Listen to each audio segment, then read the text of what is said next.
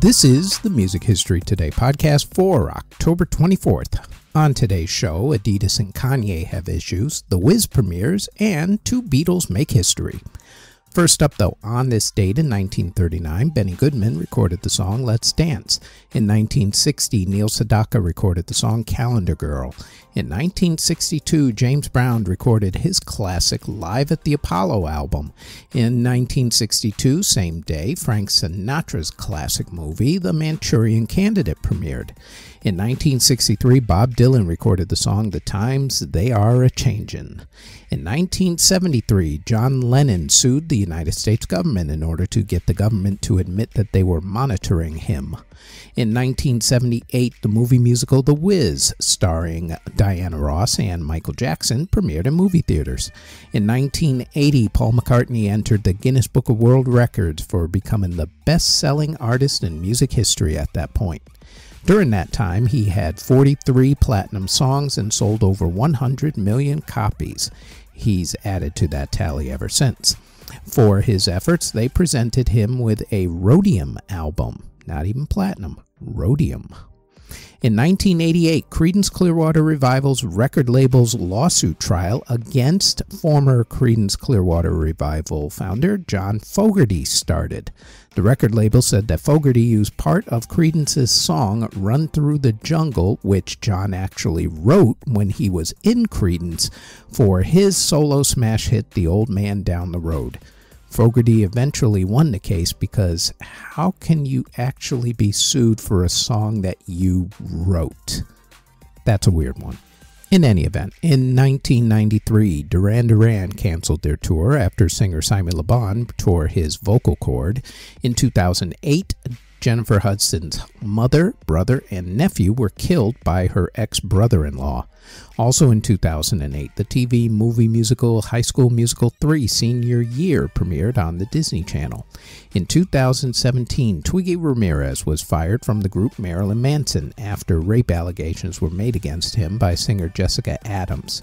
In 2020, Billie Eilish held a virtual live stream concert with reality XR effects in 2022, Adidas cut their business contracts with Kanye West after he made anti Semitic and pro Nazi statements on the Alex Jones podcast. And in 2023, Britney Spears released her memoir, The Woman in Me. In classical music, in 1818, classical composer Felix Mendelssohn performed in concert for the first time. He was nine years old at that point. In 1885, the Johann Strauss operetta Gypsy Baron was played for the first time. In 1948, the Francis Poulenc Sinfonietta was played for the first time.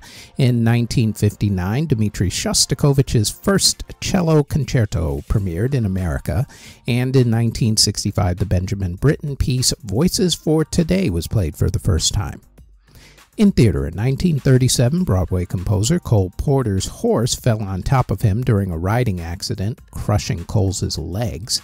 In 1963, the Broadway show 110 in the Shade opened, and in 2002, Billy Joel's musical Moving Out opened on Broadway. In award ceremonies that were held on October 24th, in 1989, the Rock and Roll Hall of Fame announced their inductees for their upcoming class.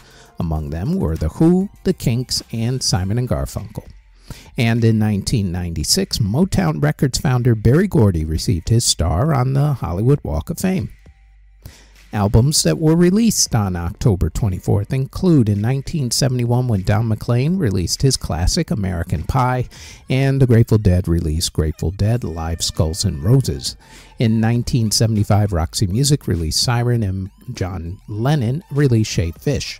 In 1976, Rory Gallagher released Calling Card. In 1980, Orchestral Maneuvers in the Dark, or OMD if you prefer, released Organization. Also on that same day, Cheap Trick released All Shook Up. In 1981, Billy Idol released Don't Stop. In 1986, Stryper released To Hell with the Devil. And Warren Zevon released A Quiet Normal Life, the best of Warren Zevon. In 1988, Dead Can Dance released The Serpent's Egg. In 1991, Brenda Lee released A Brenda Lee Christmas. In 1994, Silver Jews released Starlite Walker. In 1995, the Smashing Pumpkins released their classic Melancholy and the Infinite Sadness. 20 Fingers released their self titled album. Anthrax released Stomp 442. John Hiatt released Walk On. The Indigo Girls released 1200 Curfews. Simply Red released Life. David Bowie released The Buddha of Suburbia. The Pretenders released The Isle of View. And Bob Seger and the Silver Bullet Band released It's a Mystery. In 2000, Linkin Park released their debut album, Hybrid Theory. Also in 2000, Christina Aguilera released her Christmas album, My Kind of Christmas. Richard Marx released Days in Avalon, and the Spin Doctors released Just Go Ahead Now, a retrospective. In 2006, My Chemical Romance released The Black Parade. In 2011, Bob Dylan released Beyond Here Lies Nothing, the collection, and Paul Simon released Songwriter. Singles that were released in the UK on October 24th include in 1969 when John Lennon released his classic Cold Turkey. In 1975, John Lennon was at it again. He released his other classic, Imagine. In 1978, the Bee Gees released Too Much Heaven. In 1980, Kool and the Gang released Celebration. In 1981, The Jam released Absolute Beginners. In 1984, Frankie Goes to Hollywood released Relax, Don't Do It. And in 1994, Sheryl Crow released All I Wanna Do, her breakthrough song. Meanwhile, in America, in 1966, Donovan released Mellow Yellow. In 1974, Aerosmith released Train Kept a Rollin'. In 1978, Linda Ronstadt released Ooh Baby Baby, and Bob Dylan released Changing of the Guards. In 1980, David Bowie released Fashion. In 1983, Billy Idol released Rebel Yell, and Pat Benatar released Love is a Battlefield. In 1987, John Cougar Mellencamp now known simply as John Mellencamp, released Cherry Bomb. In 1988, Guns N' Roses released Welcome to the Jungle. In 1989, Madonna released Oh Father, and in 1994, Brownstone released If You Love Me, and Nirvana released About a Girl. Before we go any further, we'd like to tell you that there is now a Music History in Depth podcast where we go more in depth on a few of the events that happen in music history for that particular week. The Music History in Depth podcast runs every Tuesday on YouTube or wherever you get your podcast from, as does our Music Halls of Fame podcast, which talks about a member of the Rock and Roll Hall of Fame along with other Music Halls of Fame, museums, and walks of fame. The Music Halls of Fame podcast drops every Thursday and can also be found on YouTube or wherever you get your podcasts. Now, back to this podcast. Artists who were born on October 24th include Mr. Aubrey Graham. You know him better by his middle name, Drake. Also, Adrienne Bailon of 3LW and the Cheetah Girls, singer Monica, Ben Gillies of Silverchair, Bill Wyman of the Rolling Stones, Dale Griffin of Hoople, singers Paul and Barry Ryan, Edgar Broughton of the Edgar Broughton Band, Jerry Edmonton of Steppenwolf, Ted Templeman of Harpers Bizarre, singer Betty Swann, Santo Farina of Santo and Johnny, the big bopper himself, the late great J.P. Richardson, blues musician Sonny Terry, Terry Buffin of British Lions, Kenny Shields of Streetheart, singer Daya, singer Liamani Segura, producer Zach Dossie, singer Ulysses Achides, rapper Xavier Wulf, singer Ray, singer Bobby Light, and rapper Eli Triplett. Artists who unfortunately passed away on October 24th include composer Robert Fayrfax, who passed away in 1521 at the age of 57.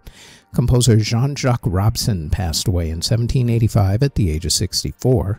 Composer Carl von Dittersdorf passed away in 1799 at the age of 59.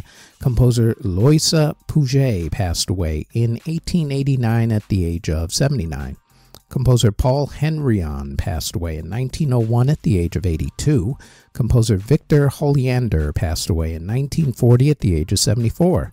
Composer Franz Lehár passed away in 1948 at the age of 78. Composer Joachim Nin passed away in 1949 at the age of 70. Composer Frederick Jacobi passed away in 1952 at the age of 61. Composer Ernest Irving passed away in 1953 at the age of 74. Composer Martin Shaw passed away in 1958 at the age of 83. Composer Carl Ruggles passed away in 1971 at the age of 95. Composer Richard Sturzenegger passed away in 1976 at the age of 70. Saxophonist Sahib Shihab passed away in 1989 at the age of 64. Drummer Sid Pye passed away in 1996 at the age of 55. Kim Gardner of Ashton, Gardner, and Dyke passed away from cancer in 2001 at the age of 53. Composer Peter Eben passed away in 2007 at the age of 78. Flute player Masakazu Yoshizawa passed away in 2007 at the age of 57. Composer Moshi Kotel passed away in 2008 at the age of 65. Singer Manna Dey passed away in 2013 at the age of 94. Singer Manolo Escobar passed away in 2013 at the age of 82. Singer and actress extraordinaire Miss Maureen O'Hara passed away in 2015 at the age of 95. Singer Bobby Vee passed away in 2016 at the age of 73. Rock and Roll Hall of Famer Fats Domino passed away in 2017 at the age of 89. Singer songwriter Tony Joe White passed away in 2018 at the age of 75. Wah Wah Watson of Motown's The Funk Brothers House Band passed away in 2018 at the age of 67. And banjo player Sonny Osborne of the Osborne Brothers passed away in 2021 at the age of 83. Next on the Music History Today podcast, it is October 25th, when in 1984, Katy Perry was born.